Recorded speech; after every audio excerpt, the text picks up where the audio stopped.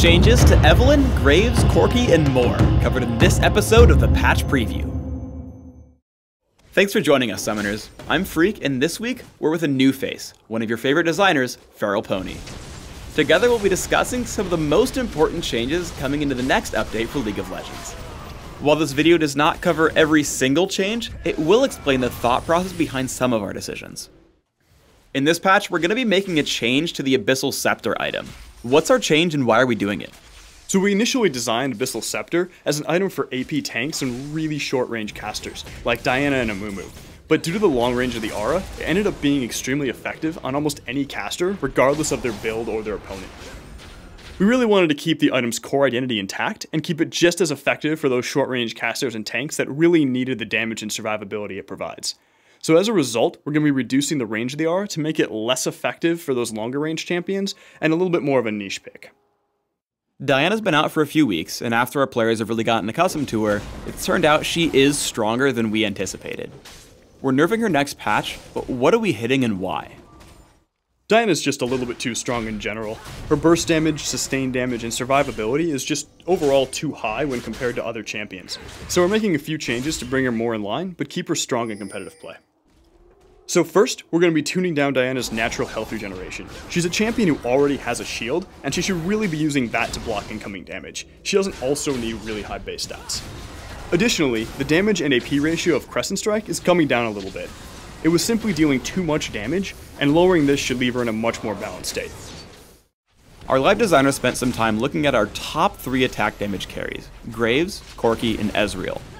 The goal of these changes is to leave carries with obvious strengths, but also obvious weaknesses.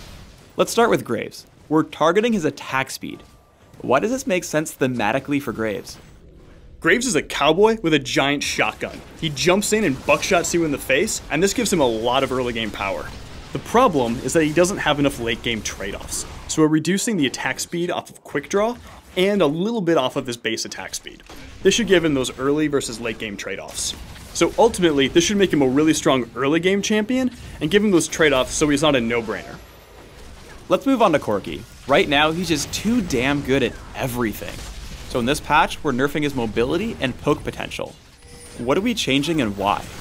One of the things that makes Corki probably the most fun to play is the fact of how much area of effect damage and how much burst damage he brings to a fight.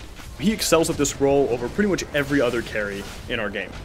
But overall, his power level is just a bit too high, so we're siphoning off some of the power from his mobility and his long-range poke, while still retaining the fun elements of Corki.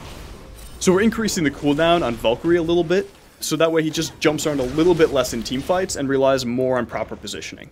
In combination with Corki's other strengths, his long-range harass was a little bit too strong because he had missiles up all the time. Like, the, he was just generating ammo too quickly. As a result, we're going to increase the time it takes him to generate a missile, but we're keeping the number of missiles the same. So still be able to put out tons of damage and bring a lot to the team. Ezreal's really known for long-range poke, high mobility, and of course pulse fire energy. This patch, we're looking at nerfing Essence Flux and buffing Mystic Shot. What is this going to do for Ezreal? Uh, so the first thing we're doing with Essence Flux is we're reducing the width of the missile a bit. Essence Flux was kind of a no-brainer pick in lane. The actual width of the missile actually was bigger than the visual effect, so people, even when they thought they dodged it, would still get hit with it. This in combination with really high base damage, low mana cost, and uh, you know the ability to pass over minions made it really, really strong and lacked a lot of counterplay for your opponent. A lot of players really like kind of hybrid Ezreal or AP Ezreal, and we didn't really want to indirectly hurt those builds that aren't really being a problem. So we ended up increasing the AP ratio in Essence Flux quite a bit, so those players will actually end up seeing an increase in damage late game. Mystic Shot is really Ezreal's most fun basic ability, um, but the mana cost was a little bit too high, and it caused him to resort to other abilities Mystic Shot allows him to kind of have this long range poke and harass gameplay, which is really, really fun in lane, and we wanted to encourage that and not punish Ezreal players for casting too many Mystic Shots. We recently remade Evelynn's abilities, and she got a lot better, but she's still a little bit too weak. What are we doing this patch to bring her up to speed? So we're really happy with Evelynn's overall design and the new gameplay she brings, but she needs a few improvements to kind of bring her up to par with other champions. So the first thing we're doing is improving her mobility. We've lowered the cooldown time on Dark Frenzy and gave her the ability to pass through minions so that Evelynn can get closer to her enemies faster while this ability is active. We've also made a few adjustments to her stealth, making it so that she can get closer to her enemies before being detected. So to improve her viability in teamfights late game, we've significantly lowered the second and third rank of her ultimate's cooldown. These changes to Evelynn should help her early ganking as well as her ability to contribute more in teamfights late game. That's it for this episode of the League of Legends patch preview. Please subscribe to the Riot Games YouTube channel above and leave us your comments just below the video. Thanks for watching.